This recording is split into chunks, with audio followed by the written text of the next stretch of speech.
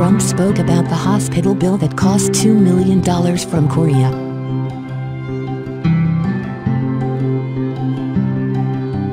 United States President Donald Trump insisted that he rejected the request of North Korea, demanding Washington to pay the health care fee for students student Otto Warmbier up to 2 million US dollars.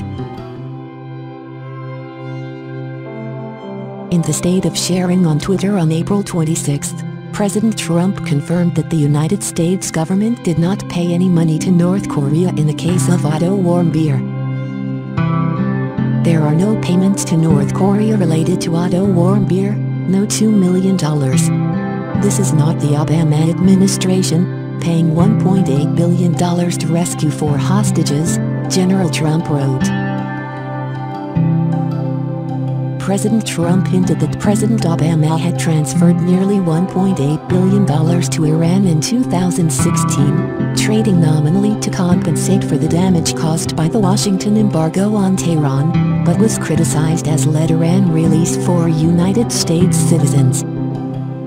Beer is an American student imprisoned by North Korea in 2015 when traveling to this Northeast Asian country. Warmbier was returned to the United States by North Korea after 17 months of imprisonment, in a coma, and died on June 19, 2017. According to the Washington Post, Joseph Yun, the chief envoy whom the United States sent to Korea to handle the case, signed an agreement to pay a hospital fee of $2 million to Pyongyang to release Warmbier, with direct guidance from President Trump to the United States Treasury, and it has not been paid during 2017, the two sources said.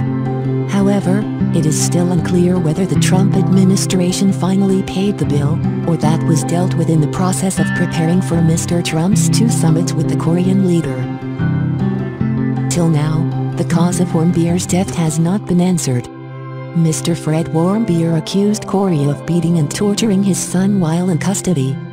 However, doctors at Cincinnati University Hospital, where care for Otto Warmbier in the last days, confirmed there was no sign of it. North Korea claimed that Warmbier became ill after eating pork and spinach, and also said ill students had serious allergies to the sedative they gave to the victims. Trump denies paying North Korea for Warmbier treatment.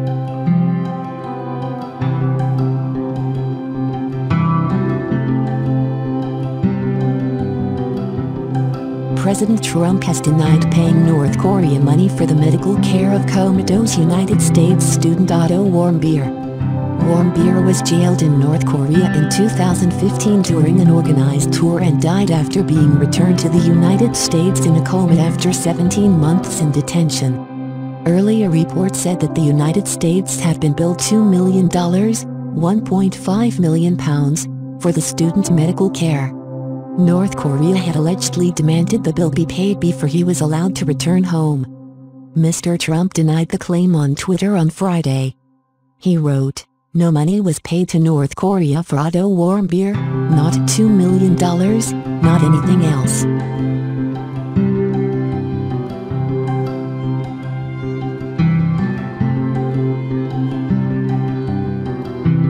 On Thursday, White House Press Secretary Sarah Sanders refused to comment on the claim. In a statement to CBS, she said, We do not comment on hostage negotiations, which is why they have been so successful during this administration.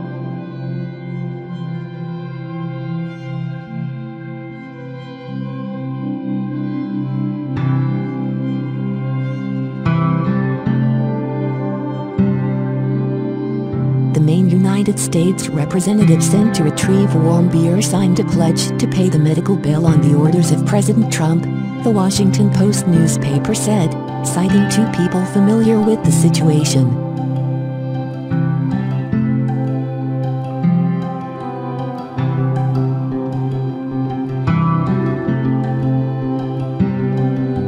The bill for Warmbier's care was then reportedly sent to the United States Department of Treasury former Department of State official told CBS News that the United States never paid or intended to pay the $2 million, though Joseph Yun, the department's North Korea lead at the time, did accept the bill. The former official noted that the acceptance of the bill happened under Secretary of State Rex Tillerson, who was keen on opening up a dialogue with North Korea.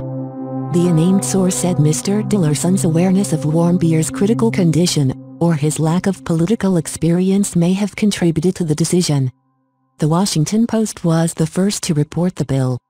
Warmbier was accused of stealing a sign from the hotel where he and fellow students had been staying in the capital, and was sentenced to 15 years hard labor.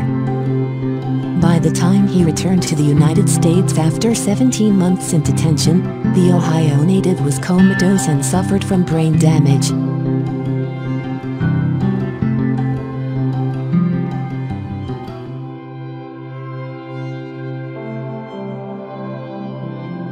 North Korea says he fell into a coma after contracting botulism and taking a sleeping pill.